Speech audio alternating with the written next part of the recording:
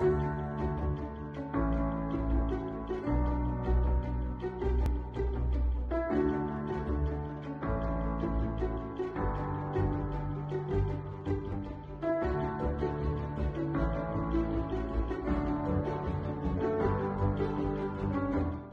I've always been very much inspired by the work of Willem Boshoff. His work has always dealt with language and communication, evolution of language, semantics, uh, morphology, phonetics, meaning. Um, it also often utilizes carpentry or woodwork as well as text elements, which I really enjoy. Um, his work, The Blind Alphabet, deals with how certain information is accessible only to some and not to others.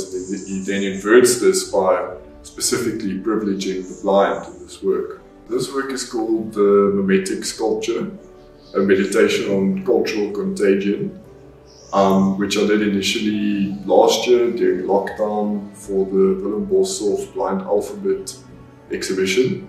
I was then commissioned by MTN to create another work which will serve as a, a digital entry point into Willem Boshoff's work, which uh, visitors to the exhibition can then scan and be redirected to um, a point at which they can download an app which they can then use to access information about Boshoff's uh, artwork and the, the show at large.